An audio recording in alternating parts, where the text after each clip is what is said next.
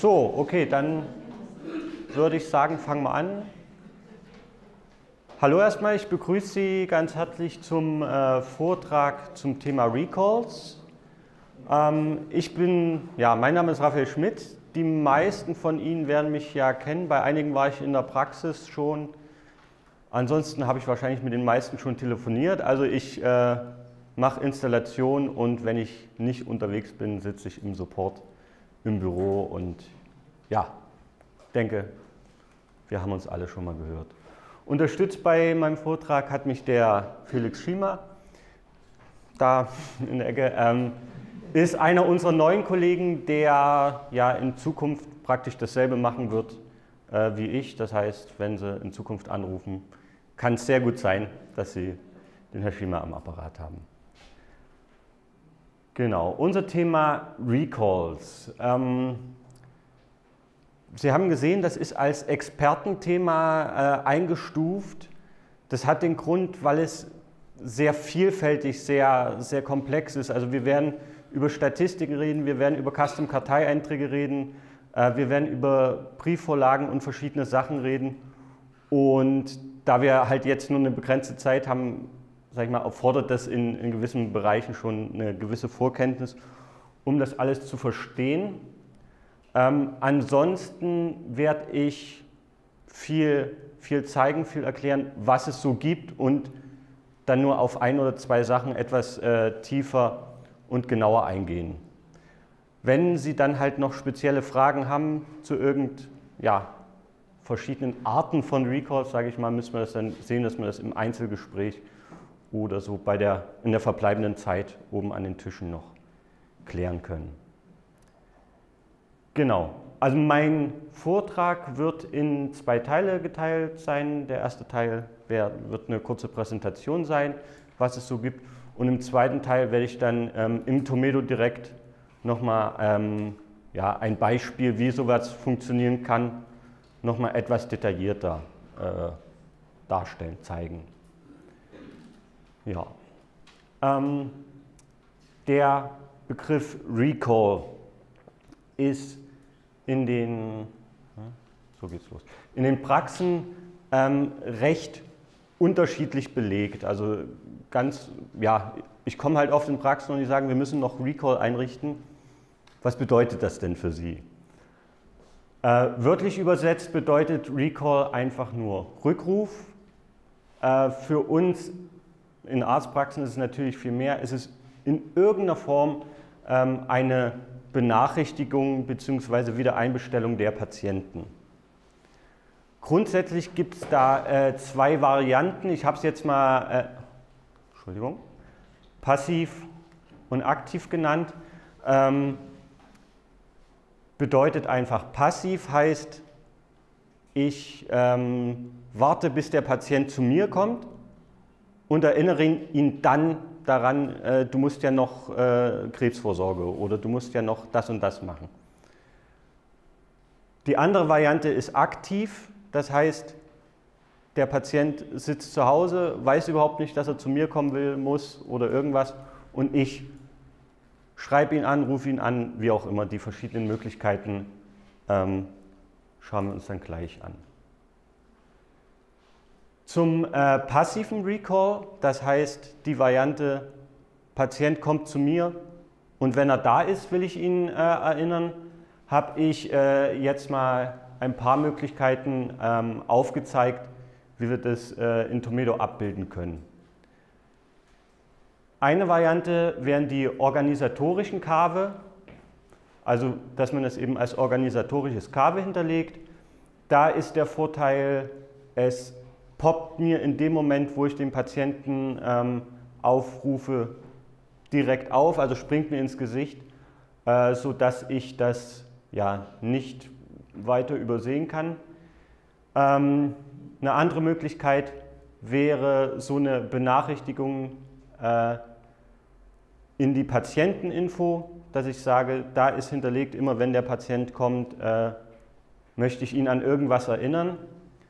Ähm, Außerdem gibt es die Möglichkeit, ähm, das eben über einen Karteieintrag zu machen, den man dann äh, im Idealfall farbig markiert, dass er einem ins Auge springt und äh, gegebenenfalls auch in die Zukunft legt, dass er immer oben ist. Ähm, das Früherkennungsmodul ist, funktioniert etwas anders. Diese drei, die drei ersten Varianten waren ja alles Varianten, wo Sie selbst irgendwie hinterlegen, der Patient äh, muss erinnert werden, zurückgerufen werden oder ja, in dem Fall erinnert werden, weil es war ja der passive Recall, wenn der Patient kommt. Genau. Die dritte Variante über das Früherkennungsmodul ähm, ist praktisch automatisiert. Das heißt, das äh, Früherkennungsmodul erkennt, wann wurde eine Leistung das letzte Mal abgerechnet. Eben gerade die, die äh, regelmäßigen Sachen, die Vorsorgeuntersuchung. Und äh, wenn der Zeitraum rum ist, das heißt, der Patient ist wieder dran, ähm, fängt, fängt das an zu blinken. Ähm, wenn ich dann äh, dem, auf den Button draufgehe, sehe ich eben, wann war die letzte, vorletzte Untersuchung von dem jeweiligen. Ähm, da kann ich mir auch selbst ähm, eben noch Untersuchungen, Sachen hinterlegen. Wichtig ist, ich beziehe mich immer auf eine Leistung. Also ich kann es sowohl mit äh, GOE, EBM oder HZV-Leistung machen, das funktioniert alles. Aber ich brauche halt immer eine, eine, Leistung als Referenz, zu der ich dann den äh, Abstand messe, wie lang ist das, wie lang ist das her. Kurz fragen, wie lange vorher, dass das Blinken anfängt, kann man nicht verändern, oder? Mm, nein. Ich glaube nicht. Also das wäre für uns wichtig, weil das ist zu kurz. Also das sozusagen, gut, das wäre was für unsere Zettel, dass wir das mit aufnehmen. Genau. Äh, welche Variante jetzt davon die, die richtige oder die, die beste für Sie ist, hängt ganz davon ab, wie Sie ja, Ihre Kartei gestalten. Bei manchen Praxen ist das Infofeld äh, so voll, dass das da gar nicht auffallen würde. Man muss schauen, was wird eventuell für die ähm, organisatorischen Kabel sonst so benutzt oder wie sieht die Kartei an sich aus. Also das kann man nicht allgemein sagen, das ist das Beste, das kommt einfach darauf an, was Sie sonst so in der Kartei haben. Genau. Eine weitere Variante, die jetzt neu ist, die ich hier noch gar nicht mit aufgeführt habe, äh, worüber ja die letzten Tage wahrscheinlich Sie schon einiges gehört haben, sind die Patientenmarker, wo ich eben auch ähm, eine Markierung hinterlegen könnte, um eben zu sehen, wenn der Patient bei mir auftaucht, bei dem ist noch was. Genau.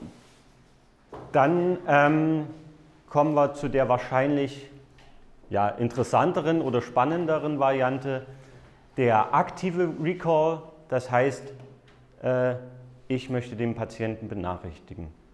Wenn ich das mache, muss ich mir grundsätzlich zwei Fragen stellen. Nämlich erstens, wer soll benachrichtigt werden? Und die zweite Frage, wie soll das geschehen? Ähm, die erste Frage ähm, beantwortet mir meistens eine Statistik oder in der Regel eine Statistik, ähm, mit der ich mir eben die Liste von Patienten erzeuge, die ich benachrichtigen möchte. Da gibt es verschiedene Varianten. Das ist ähm, teilweise dessen geschuldet, dass es äh, verschiedene Praxen gibt, die eben in ihrem Altsystem schon ein Recall-System hatten, was unterschiedlich gehandhabt wurde und, das, und wir haben eben versucht, die Möglichkeit zu schaffen, das immer weiterzuführen, egal wie es im, im Vorsystem äh, gelaufen ist. Deshalb gibt es da verschiedene Möglichkeiten. Ähm, die erste Möglichkeit wäre, dass ich äh, einen Karteieintrag in der Zukunft anlege. Das heißt, ich lege einen Karteieintrag mit dem Datum, an dem ich den, also wie ich es genau mache, ob ich das Datum wähle, an dem ich den Patienten erinnere oder das Datum wähle, an dem er dann tatsächlich zu mir kommen soll, ist auch wieder ja, im Prinzip egal. Da muss ich dann nur meine, meine äh, Abfrage entsprechend anpassen. Dann gibt es die äh, Variante, dass ich ja, Karteieinträge in der Vergangenheit, also wenn ich heute einen Eintrag mache, dass ich sage Recall in sechs Monaten ähm, und dann praktisch eine Statistik mache, wenn ich heute den Recall machen möchte, wer hatte denn vor sechs Monaten einen Eintrag mit Recall in sechs Monaten. Ähm, wichtig hierfür ist, dass ich jeweils die richtige Statistik verwende. Also unter Verwaltungsstatistiken gibt es ja diese schöne lange Liste mit Statistiken und ähm, da ist wichtig zu beachten, welche äh, Statistik ich, zu, ich benutze. Das äh, Problem ist, wenn ich die falsche Statistik benutze, kann es bei Patienten, die mehrere Recall-Einträge haben, zu Fehlern kommen. Aber wenn ich es eben so mache für Karteieinträge in der Zukunft, über die Karteieintragsstatistik, bei der Variante Karteieinträge in der Vergangenheit über die Recall-Liste, so heißt die Statistik, mache, dann kann es da, ähm, ja, dann funktioniert das.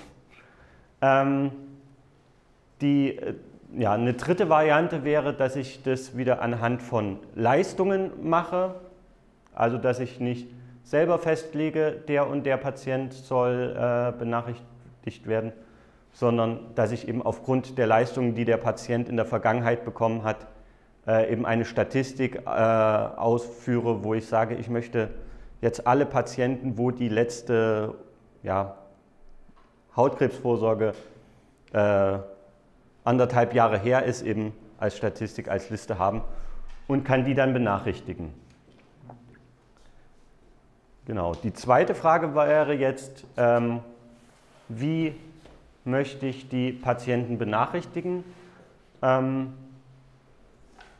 auch das hängt ein bisschen von der Praxis ab, von der Größe vom Patientenaufkommen und auch davon, wie bisher die Stammdaten gepflegt sind. Ja, eine Variante wäre, ich schicke einfach an alle Patienten einen Brief. Also einfach ja, aus der Liste könnte ich direkt einen Serienbrief erstellen, wo ich dann eben äh, an alle einen Brief schicke. Ich habe die Möglichkeit, ähm, eine Serienmail zu verschicken. Das äh, werde ich dann auch gleich noch im, im, Detail zeigen, wie das funktioniert, wie das eingerichtet wird, dass man eben an alle Patienten, die eben das betrifft, eine, eine Mail rausschickt. Außerdem habe ich die Möglichkeit, ähm, das per SMS zu machen. Da ist es dann halt äh, wieder notwendig, wenn ich das machen möchte, dass ähm, ich eben das SMS-Modul, also ein SMS-Kontingent habe, äh, um diese Mails zu verschicken. Und ja, dann gibt es sozusagen noch die, ich sag mal, händischen Variante, dass ich mir zum einen diese Liste erzeuge und dann individuell entscheide, den will ich anrufen, dem will ich einen Brief schicken oder ich gehe halt her und telefoniere die Liste ab. Das ja, kommt, wie gesagt, auf die, auf die Praxisgröße an und vielleicht auch darauf, was es für ein Recall ist. So, das wäre es jetzt sozusagen in der Theorie erstmal. Wir würden jetzt zum praktischen Teil äh, übergehen.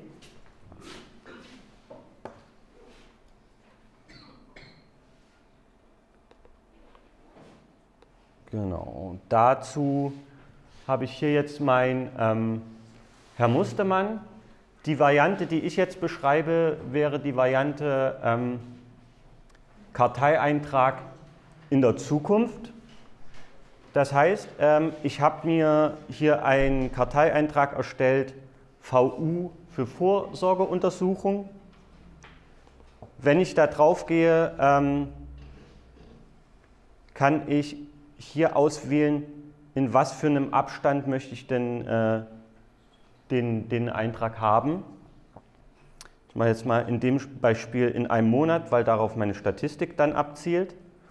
Und äh, hier kann ich dann hinterlegen, für was ist denn der Recall. Wie der Karteieintrag aussieht, schauen wir uns dann gleich an.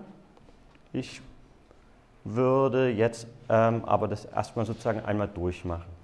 Gibt es eine Quervernetzung zu dem Früherkennungsbutton, wenn der Hautkrebs-Screening auch bei Früherkennung definiert ist? Ähm, übernommen oder? In dem, so wie es jetzt hier definiert ist, nicht. Das, die, die Variante, die ich habe, ist wirklich nur macht das, was ich eintrage. Ähm, Im Endeffekt macht das Früherkennungsmodul nicht viel anderes als eine Statistik ausführen. Ähm, das heißt, ich könnte dieselbe Leistungsstatistik machen, um mir die Liste zu erzeugen mit allen, die dran sind.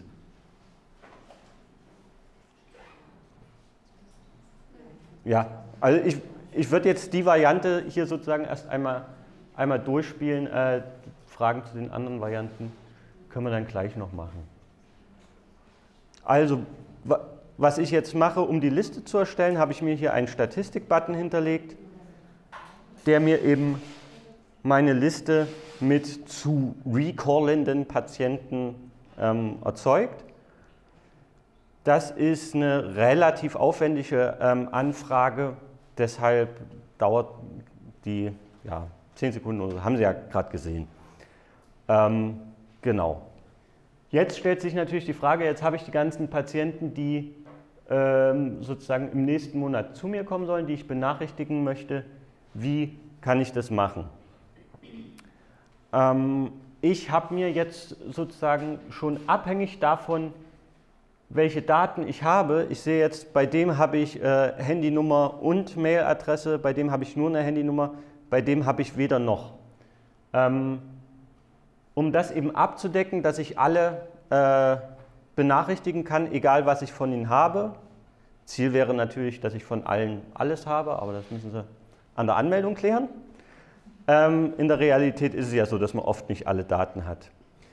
Das kann man so machen, dass man sich dann verschiedene Filter anlegt äh, für die verschiedenen, ja, sozusagen den verschiedenen Datenstand. Ich hätte jetzt hier den Filter Mail, wo ich alle Patienten, wo ich eine Mailadresse habe, äh, eben bekomme und könnte jetzt an die eine Serienmail schicken. Das geht über Aktion, ähm, E-Mail an alle Patienten der Liste verschicken. Dazu ist es äh, zum einen wichtig, dass Ihr äh, Mail-Account im Tomedo hinterlegt ist, weil ja, sonst können Sie keine Mail aus Tomedo schicken. Ähm, und zum anderen muss da eben eine Vorlage hinterlegt sein. Da können Sie auch verschiedene Vorlagen hinterlegen, ähm, um eben eine Mail zu versenden. Und dann kann ich sagen, okay, sofort verschicken und dann ähm, bekomme ich eben ja, hier die Meldung, dass diese Mail verschickt wird. Äquivalent kann ich eben äh, bei den anderen vorgehen, nur dass ich da eben nicht auf äh, Mail verschicken gehe, sondern äh, gut, hier ist jetzt das SMS-Modul in meiner Testumgebung nicht freigeschalten, deshalb ist der Punkt ausgegraut, aber wenn ich das habe, kann ich hier eben SMS auswählen beziehungsweise ähm, für die, wo ich gar nichts habe, könnte ich es als Brief machen.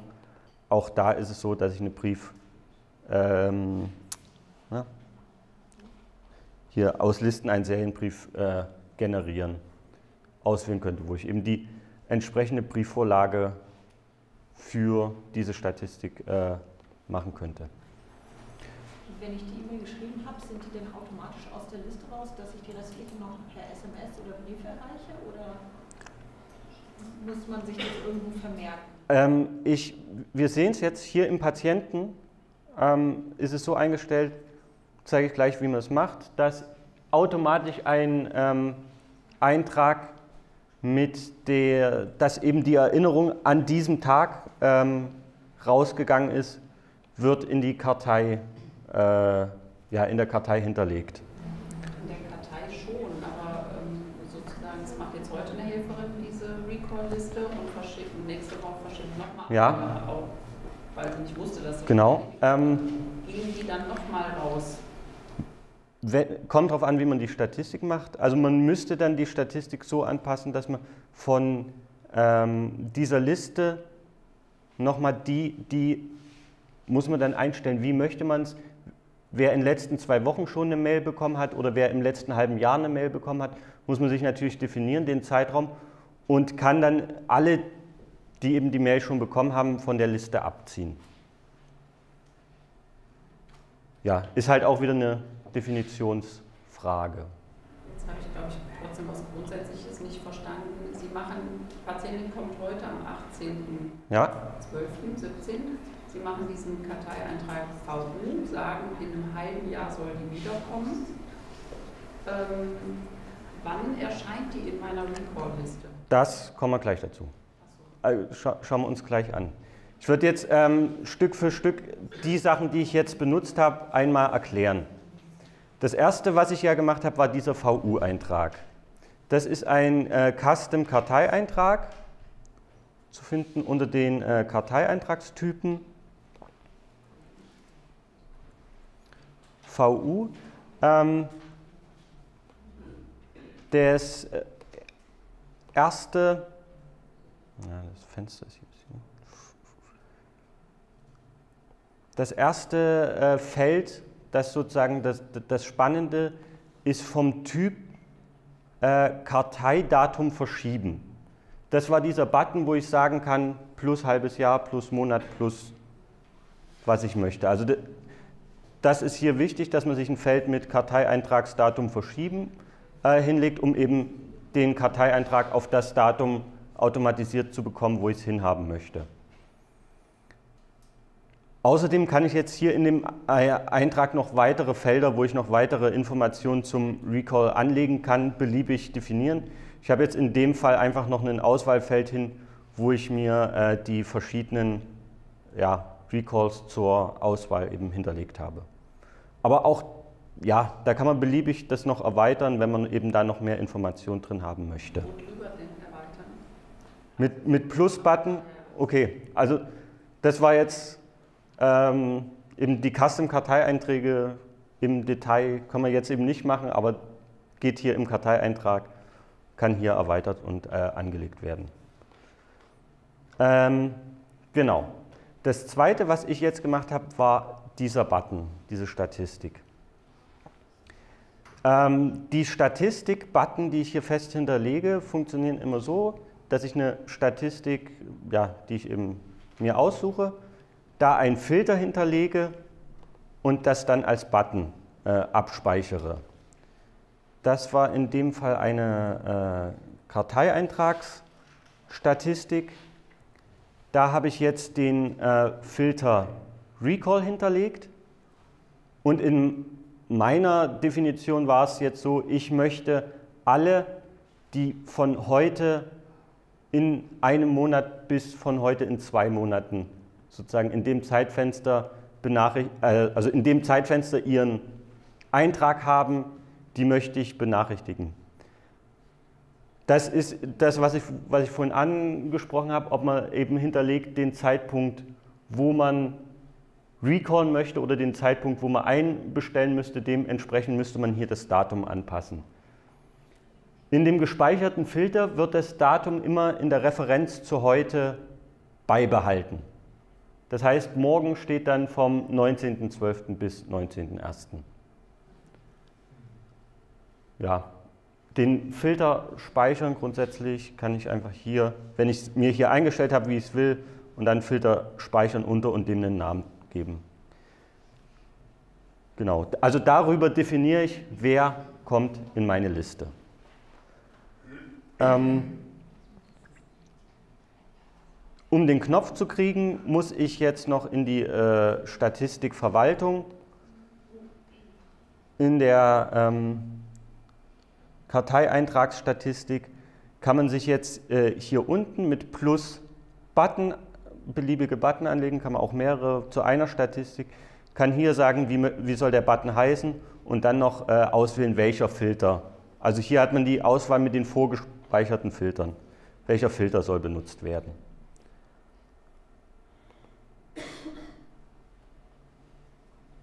Genau.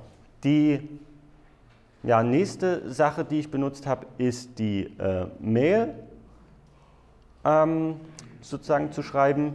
Da, wie gesagt, als erstes muss mein E-Mail-Konto mit Tomedo verbunden sein. Also ich muss hier äh, meine entsprechenden ähm, Mail-Daten hinterlegen, damit äh, das prinzipiell funktioniert. Und dann muss ich eine Mail-Vorlage ähm, ja, einrichten. Auch hier wieder mit Plus kann ich neue einrichten, kann dem einen Namen geben.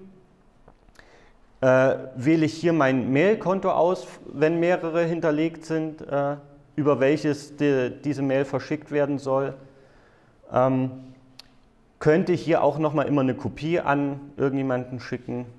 Braucht man in dem Fall wahrscheinlich eher nicht. Kann ja, hier einen Betreff hinterlegen und hier diese Auswahl ist sozusagen dafür da, dass dann dieser Kartei, Entschuldigung, dass dieser Karteieintrag hier entsteht. Also kann ich bestimmen, was, hinter was für einem Typ äh, eben die, die Benachrichtigung hinterlegt wird. Genau, hier kann ich, äh, wir waren hier bei, bei, bei, dem, bei dem Text. Der Text funktioniert im Prinzip wie ähm, ja, eine Briefvorlage. Das heißt, ich kann hier genauso diese Kommandos äh, mit dem Dollar, eckige Klammer und so weiter, wie Sie die aus den Briefvorlagen kennen. Hier hätte ich auch nochmal Zugriff auf die Kommandos, dass ich mir da irgendwas raussuchen kann. Ansonsten ist es natürlich halt ja, möglich, normal festen Text zu hinterlegen. Das funktioniert mit den ähm, SMS-Vorlagen ja im Prinzip genauso, nur dass eben das ist versteckt unter dem Reiter, also unter Kalender sind die SMS-Vorlagen, weil die ja ursprünglich oder hauptsächlich dafür gebaut wurde, um, um aus dem Kalender äh, SMS zu schreiben, aber die SMS-Vorlagen funktionieren eben aus der Statistik genauso. Ja. Sachen denn doppelt verschickt? Nee, ne? Also wir hatten ja jetzt einen Patienten, für den die E-Mail hinterlegt war und auch die Telefonnummer. Genau. Also in dieser Statistikliste meine ich. Die, Nicht, dass der dann die SMS und die E-Mail ja. Äh, nee, da muss man sich halt die, die Filter so setzen, dass das eben nicht passiert. Ich zeige es mal eben, wie ich es in dem Beispiel gemacht habe. Ähm, ich habe jetzt Mail, alle wo hier, also alle, die eine Mail haben, sollen eine Mail kriegen. Alle, die äh, eine Handynummer haben, aber keine Mail, äh, das ist jetzt der Filter minus Ad. Da in jeder äh, E-Mail-Adresse ein Ad vorkommt, äh, sind da nur diejenigen ohne Mail-Adresse und in jeder Handynummer kommt eine Null vor. Deshalb äh, sind hier alle, die dann eben eine Nummer drin stehen haben. Und im Filterbrief habe ich eben die, die keine Mailadresse und keine Handynummer haben. Kann man es dann irgendwie so einstellen, wenn der Patient sagt, er hat zwar eine E-Mail bei uns angegeben, aber möchte eine SMS bekommen? Da muss man sich Gedanken drüber machen, wie man das intelligent hinterlegt. Ähm, könnte man, ja, kommt, kommt jetzt auch wieder darauf an, was Sie sonst so benutzen, könnte man zum Beispiel in einem ähm, patientenspezifischen Auswahlfeld machen. Und äh, das würde hier in der Statistik im Ergebnis ähm, mit angezeigt. Und dann könnte ich eben nach diesem, nach diesem Auswahlfeld filtern. Aber dann muss ich es halt bei jedem Patienten mit angeben. Ja. Eine Akte aufgegangen, das E-Mail dokumentiert ist jetzt, aber gehen wir 50 äh, Akten? Nee, die Akte ist nicht aufgegangen. War, das war, das war die, die offen war. Also es geht keine Akte da auf. Die, der Eintrag wird automatisch angelegt. Ich kann ich ja alles eingeben. Dann kann ich ja total eingeben, Add in Klammern, da werde ich ja Domain nicht drauf, was man eingibt. Bei Dateien von Patienten. Dann wird dann bemerken, was ich da eingebe, wenn es Ja, das ist richtig. Wenn Sie eine falsche Mail haben, wird der Eintrag trotzdem. Also also wenn Sie eine Mail verschicken, die nicht ankommt, würde ja Ihr Mail-Provider eben sagen, Mail verschickt, nicht erfolgreich. Er macht, trotzdem, er macht trotzdem den Eintrag, weil er das ja praktisch an den Mail-Server übermittelt hat. Also er macht es in dem Moment, wo es übermittelt. Also muss ich den Postausgang sozusagen mit der, mit der Ausgangsliste hier vergleichen, ob es auch nicht stimmt? Ja, mit der im, wenn ein Fehler ist, werden Sie ja benachrichtigt. Also solange kein Fehler kommt, hat es geklappt. Ja, also wenn, wie gesagt, noch es sollte jetzt erstmal so ein relativ grober, großer Überblick, dass Sie ein bisschen äh, sehen können, was wie wo geht. Äh, Im Detail werden wir das wahrscheinlich dann erst im Einzelgespräch machen können.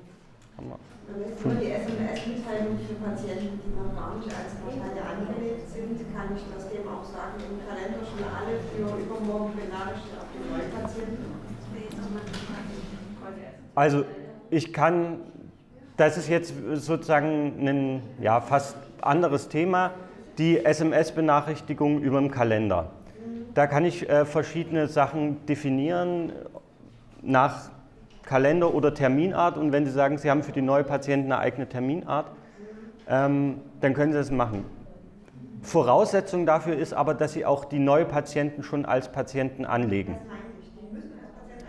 Ansonsten kö- Also ich kann dir nicht sagen, nimm dir aus dem Tag übermorgen die Patienten aus der Spalte und äh, schick dir eine SMS. Naja, die Patienten. Die muss ja im Kalender. Die muss ja im Kalender Die haben noch keine Karteikarte. Genau. Also- ist zwar da, aber Genau. nicht als Ist, Die stehen nur mit Namen und Telefonnummer im Kalender. Richtig. ist nicht möglich. Ähm, das ist eine, aber eine Sache, die ich zumindest den Praxen, wo ich jetzt äh, bin, eigentlich nahelege für neue Patienten, legen Sie einfach die Akte an. Weil Name, gut, das Geburtsdatum brauchen Sie zusätzlich, aber dann können Sie Name, Geburtsdatum, Telefonnummer in der Akte hinterlegen. Das wird automatisch im Termin übernommen. Im Termin müssten Sie es sowieso abfragen. Das heißt, Sie haben keinen, keinen zusätzlichen Arbeitsaufwand, haben aber die Akte schon angelegt. Das hat außerdem den Vorteil, dass der Patient, wenn er dann kommt, schon direkt mit dem Termin verknüpft ist. Also wäre mein, so mein allgemeiner Hinweis, ist meines Erachtens sinnvoller, immer den Patienten direkt anzulegen.